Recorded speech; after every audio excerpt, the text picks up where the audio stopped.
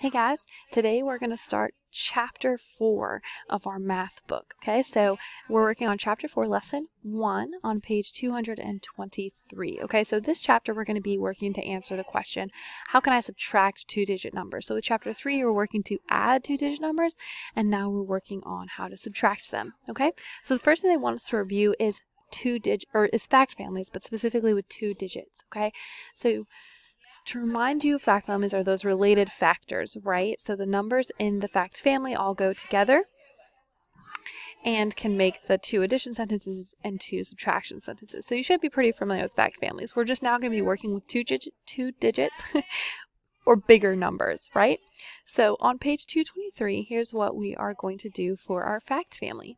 So it says that Lindsay has 16 snowballs. Okay, she throws seven of them how many are left? It says write the three numbers in the fact family, then write the related number sentences. So, so it says she has 16 snowballs and she throws seven of them.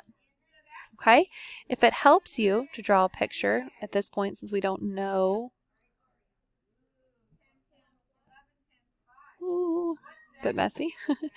so we have 5, 10, 15, 16. She threw 7. 1, 2, 3, 4, 5, 6, 7. So then we have 5, 6, 7, 8, 9 left.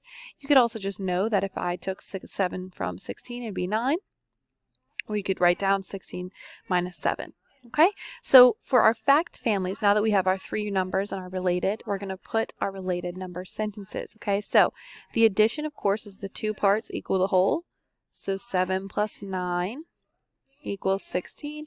And of course, we know with addition you have a turnaround fact, so the other piece, 9 plus 7 equals 16. With subtraction, you're going to start with the whole and take away one of the parts. So 16 minus 7 is 9. And then, of course, going the other way, 16 minus 9 is 7.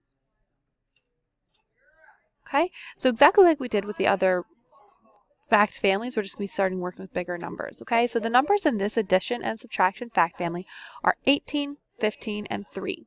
Okay, so then they showed us already how to write the related sentences. So they have number sentences. They have 15 plus 3, so the two parts together is 18. Then they flipped their turnaround fact. 3 plus 15 is still 18 because that's our whole. Then subtraction, you have 18 minus 15, which is 3. So 18 minus 15 is 3. And then 18 minus 3 is, of course, 15. So the same related sentences, okay? So now they just want us to complete each fact family. So for this first one, there's only two related facts because it's a doubles. So it's going to be the same. So 12 plus 12 is, of course, 24 because that's our whole.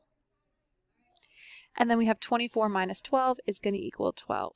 Okay, so only two because it's that doubles fact. All right, the next one, they wrote these sentences for you. So you have 11 plus 6 equals 17. And then you have 6 plus 11 equals 17, right, because of that turnaround fact. Then 17 minus 11 equals the other part, which is 6. And then 17 minus 6 is, of course, 11, because, again, the part. Okay, so this should be really familiar for you because we've worked through this with fact families before. Okay, same thing. 16 plus 4 is our whole, which is 20. 20 minus 4 is 16. All right, and then the, this time they want you to finish them. So the other addition problem, so 16 plus 4, is going to be flipped around. 4 plus 16 equals 20. All right, and same thing, they want us to have the other subtraction problem. Remember, you always start with the whole, so 20. And then we already took away 4, so we're going to take away 16, because that's the other number. And then we're left with 4. Again, always just using the three numbers in my fact family. Okay, so it says, how are these exercises like fact families that we've learned earlier? So they're exactly the same, right? We have our two addition, two subtraction. We're using all the numbers. We have our whole and our parts. They're just bigger numbers. Okay?